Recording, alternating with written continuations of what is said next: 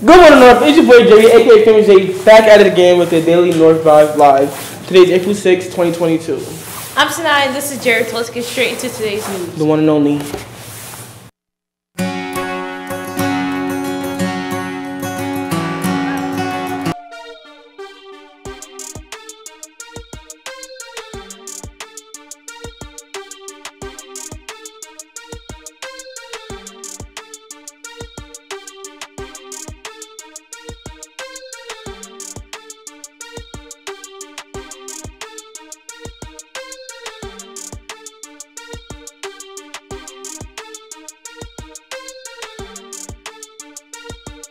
Stand for the Pledge of Allegiance.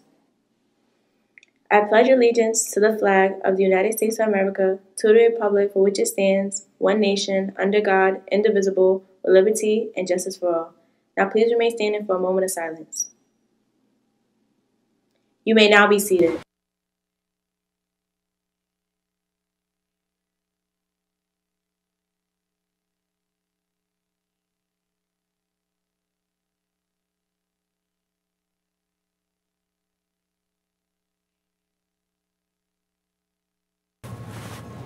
Let's run down the schedule or calendar for April real quick. Tabletop Gaming Club meets this Thursday at Lehman uh, Room 2B. Don't forget spring recess is coming up. We're off April 14th to 18th, which is kind of whack, but you know, that's whatever. Real. And April 13th, April 13th, the day before break is packed full of ama- amazing activities during Block 1 and Block 2, the PBIS Word Event, Popcorn in the Movie, Enjoy a relaxing break with the movie, A League of Their Own. But wait, fourth block on April 13th is co is co-ed volleyball tournament profiting reading Olympics. That's going to be quite a day. Interested in creating a team? Then you'll need six players per team, and it must be co-ed, meaning you will need at least two players of each gender. It's five dollars per play or three dollars a team. Preliminary rounds will be third block on April 13th, but anyone can watch the finals during fourth block. A dollar donation gets you a ticket to witness the finals. Period. When we come back from break, April still keeps giving us events. April 22nd to the 24th is art show and a spring musical on the island. The, an- the annual Smash Brothers Brawl video game tournament will be held over two days this year. Elimination rounds will be held will be held Tuesday, April 26th and Thursday, April 28th from 3 p.m. to 5:15 p.m. It's five dollars to play and three dollars to watch. Registration opens later this week, so check here our socials and our emails, your emails for more information.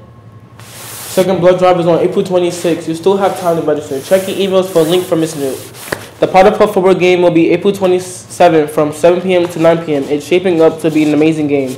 Seniors, last day to pay for prom is April 8th. Payments are only accepted during lunch in front of the cafeteria or after school till 5 p.m. in, in the front lobby. No other payment times will be available, only in front of the cafeteria. Cap and gown prices have increased to about $40. Make sure you order yours before the next increase in May. And finally, seniors who wish to pay $70 for the senior trip to Kalahari, you can start paying on April 8th during lunch in front of the cafeteria. There's still time to recycle your plastics in front of the North Side Cafe to help the King and Leo Club with a plastic bench of the courtyard. Take a picture of yourself with your recycling deposit in front of the bench and earn a North Star. And now over to Anthony with sports. Actually,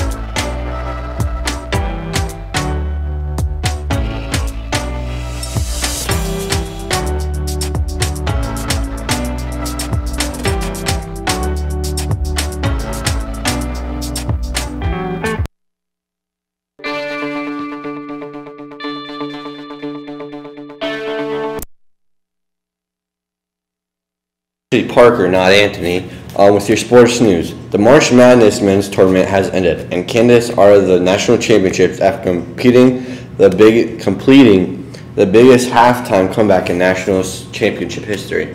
It was a great game with Kansas guard Christian Braun having 12 points and 12 assists to help lead Kansas to their fourth national title. And a big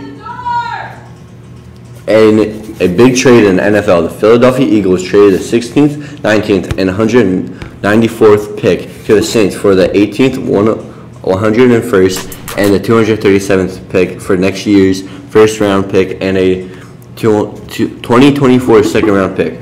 This really shakes up the draft and shows the Eagles are trying to spread out their assets, which is a good decision seeing how their team is built. The Eagles seem like they have a true plan. Now with me to the weather.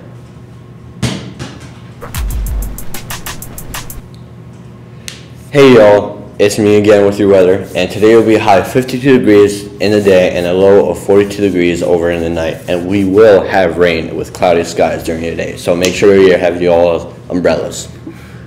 But back to Jerry and Sanaya. We have another would you rather question. Would you rather be able to take back anything you say or hear any conversation that is about you?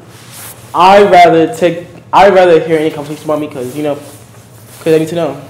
Right, I agree. But if someone's talking mess about me, like I need to know, like who is it and what are they talking about? How about you, Parker?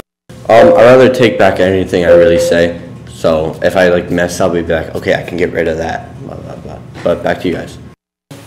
That's all we have for today. Have a great day and stay with my T-Wolves. Done here? And cut. That was a lot.